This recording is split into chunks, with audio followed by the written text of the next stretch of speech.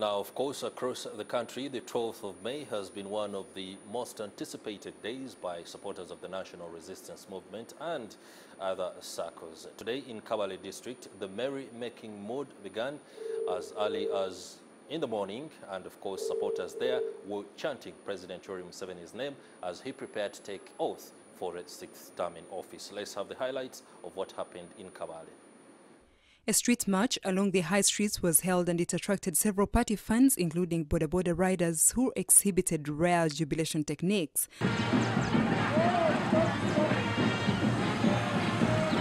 Later on, these held a virtual observance of the swearing-in ceremony at the NRM offices in Kabale district.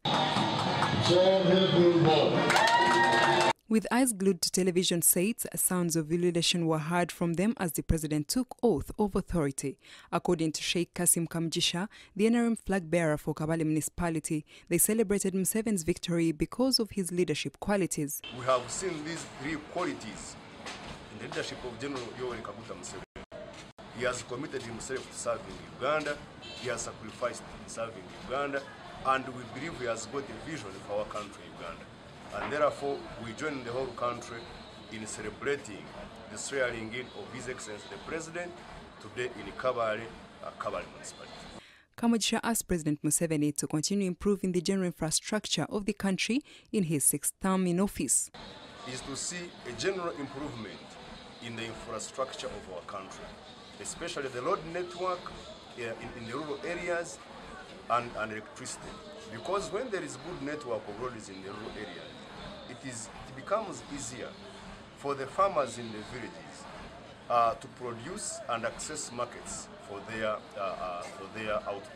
Dennis Nzeirwa, the former Kabale and Kyankwanzi Deputy Resident District Commissioner, hailed President Museveni for his commitment to improve the education standards in the country. The last five years, we have been able to achieve, uh, to acquire a university, a public university, that is Kabale University, that is getting a lot of money, and we are been really, it has been, it has eased the expenditure on, on the expenditure on a student who has been going to Kampala to study from Makerere University. He can, he can be able now to study from here and acquire the similar qualification which would have been acquired in Makerere University. He urged Ugandans to credit Museveni for the visible infrastructure development in the country. When you look around road infrastructure, as I have told you, when he was coming in in 1986, the kilometer of roads that were tarmacked were, six, were 800 kilometers. But as per now, as we talk today, it has moved from 800 to 6,000 kilometers. That's a very big achievement.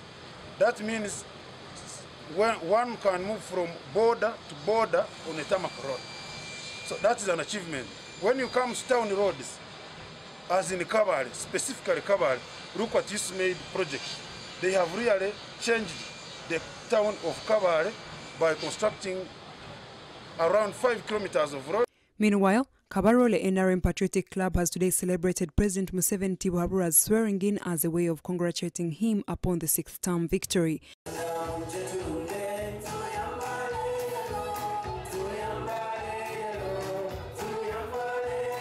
Celebrations were held at the Youth Center Hall in Yabukala, where supporters jubilated with dances, and it was graced by Brigadier General Felix Kulayigye. Patrick Kamulindwa, the chairperson of Kabarole Patriotic Club, says even when the NRM has been in power for 35 years, corruption remains a challenge which he believes the president will handle in this new term. We are determined to fight corruption, and in these five years that the country, the people of Uganda have given us to lead the country again, uh, the government of Uganda, under the leadership of General Yoweri Kaguta Museveni, we are much sure that the issue of corruption is going to be taken serious, and it has always been taken serious, especially in this last Kisanja that we have just concluded. The chairperson, Brenzori Katebwa Civilian War Veterans, asked the president to consider clearing their arrears. naye singa basasula waakiri makumi abiri abiri seddu ne- bagwayo abalwanyi bajja kusanyuka bulungi teri ajja kubayitamu ate ayingirire gavumenti Brigadier General Felix Kulayigye stressed that why the president has always maintained peace. Before NRM government, men had ceased being men. Men were only those in uniform.